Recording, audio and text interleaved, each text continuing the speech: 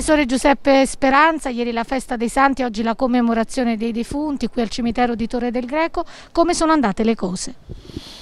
Direi che sono andate abbastanza bene anche perché il ponte dei santi e dei defunti è partito già da venerdì scorso, quindi abbiamo dato la possibilità ai cittadini di poter far visita ai propri cari già qualche giorno prima e con eh, il prolungamento dell'orario della chiusura alle ore 17 devo dire è andato tutto nel migliore dei modi come auspicavamo, stamattina c'è stata la messa per tutte le anime eh, scomparse ecco, eh,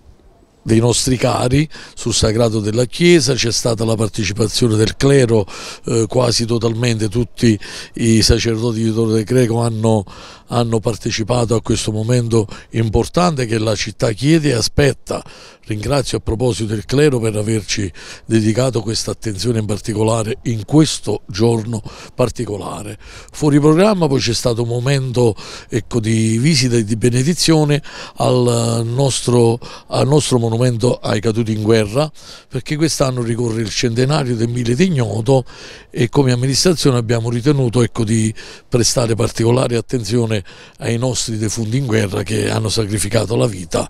per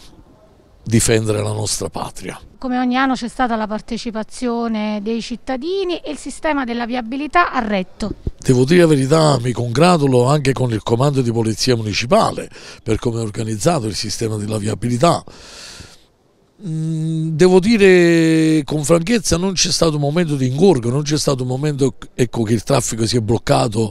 tranne che in alcuni momenti, però devo dire nel complesso è andato tutto bene, non c'è stato ingorgo, mi compiaccio con chiunque ha collaborato alla buona riuscita ecco, di questo ponte di Ognissanti e dei defunti. In questi giorni che lei è stato qui al cimitero eh, durante insomma, eh, gli orari di apertura le sono arrivate dai cittadini delle segnalazioni di eventuali migliorie, criticità o interventi da eh, mettere in campo? Mi piace sottolineare questo aspetto, è arrivata qualche lamentela, qualche rara lamentela perché poi c'è qualcuno che ormai la spazzatura ce l'ha nella testa, scusa questa battuta, e la vede anche dove non c'è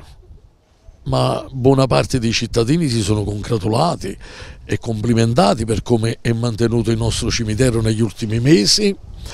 Quindi il mio ringraziamento va anche agli operatori del nostro cimitero che con accortezza, con diligenza e devo dire anche con eh, eh, accanimento eh, quotidianamente cercano di mantenere nel migliore eh, dei modi puliti gli spazi, sia quelli a vista e anche quelli non a vista. Credo che adesso il nostro cimitero si sta avviando a diventare un vero e proprio cimitero monumentale. Il ponte è naturalmente anche l'occasione per eh, riflettere su un anno che è passato e per ricordare i torresi che purtroppo non ci sono più. Naturalmente va ricordato ecco, che tanti nostri concittadini ci hanno lasciati per eh, la pandemia, ecco, per il Covid.